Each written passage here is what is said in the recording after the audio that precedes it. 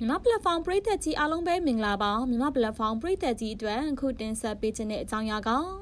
ဝေးချတဲ့ခွဲစိတ်မှုလုပ်ပြီးတဲ့နောက်အသက်20အရွယ်မိန်းကလေးငယ်တေဆုံးနေဆိုတဲ့အကြောင်းကိုတင်ဆက်ပေးပါမယ်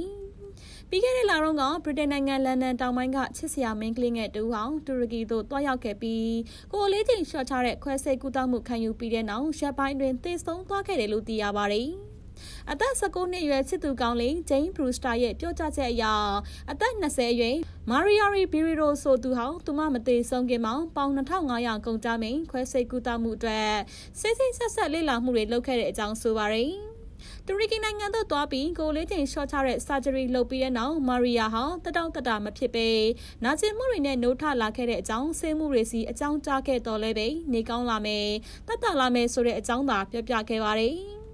ဇန်နဝါရီ9ရက်မှာနေအိမ်သို့ပြန်ရန်ခွင့်ပြုချက်ရခဲ့ပြီးတဲ့နောက် UK သို့လေယာဉ်စီးနှင်းလာခဲ့ပြီးအရေးပေါ်အခြေအနေကြောင့်ဆာဗီယာမှာဆင်းသက်ခဲ့ကောင်စစ်ရုံသို့ပို့ဆောင်ခြင်းခံခဲ့ရတယ်လို့သိရပါတယ်။ကိုလေးချင်းရှော့ချတဲ့ခွဲစိတ်မှုတွင်မာရီယာရဲ့ဦးသိန်းကို10စင်တီမီတာဖြတ်တောက်ခံလိုက်ရပြီးတဲ့နောက်ရောဂါပိုးကူးစက်မှုနဲ့နှလုံးဖောက်ကမေမျောသွားခဲ့ပြီး၄ရက်အကြာမှာ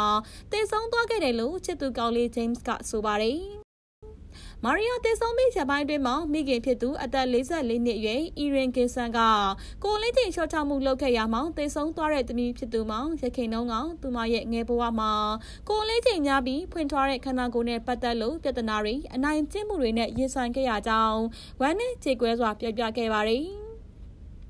ကျမသမီးလေးကသူ့အသက်ကြီးပြင်းလာတာနဲ့အမျှအနိုင်ကျင့်ခံရတယ်။သူ့ရဲ့ကိုယ်လေးချိန်နဲ့အမြဲတမ်းရုန်းကန်နေရတယ်။ခန္ဓာကိုယ်ထွားတဲ့အလေးချိန်များတဲ့မင်းကလေးတောက်ဖြစ်ခဲ့တာကိုကောင်သူ့အတွက်ကြံတန်းခဲ့ပါတယ်။သူကအတွင်းစိတ်ကောင်အပြင်ကောတကယ်ကိုလှပတဲ့မင်းကလေးပါလို့ဆိုပါတယ်။မိခင်ဖြစ်သူအီရင်ကသူမရဲ့သမီးလေးလိုမျိုးတခြားမိန်းကလေးတွေသမီးလေးတွေမှဒီလိုအဖြစ်ဆိုးမျိုးမဖြစ်စေချင်ဘူးလို့ပြောပြခဲ့ပါတယ်။ ကျမအဲ့ဒီအကြောင်းကိုသိတော့အတော်လေးကိုနောက်ကျသွားပြီးသမီးလေးကလေရင်ပေါ်တက်သွားပြီးတော်တော်လေးလေးစိတ်ထဲနှိမ့်နေအောင်မိန်တူရကီမှာခွဲစိတ်မှုလုပ်ပြီးထိတ်လန့်စရာအဖြစ်ဆုံးသတင်းကိုကြားတော့ရုံတော့မယုံနိုင်ဘူးကျမသမီးလိုနောက်ထပ်ကလေးတွေမှလည်းမဖြစ်စေချင်ဘူးသမီးလေးလိုမျိုးဘဝကိုအဆုံးရှုံးမခံကြစေချင်ပါဘူးလို့ပြောပြခဲ့ပါတယ်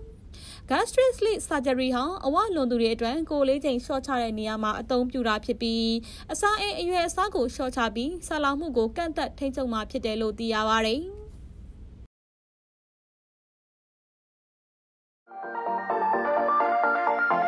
။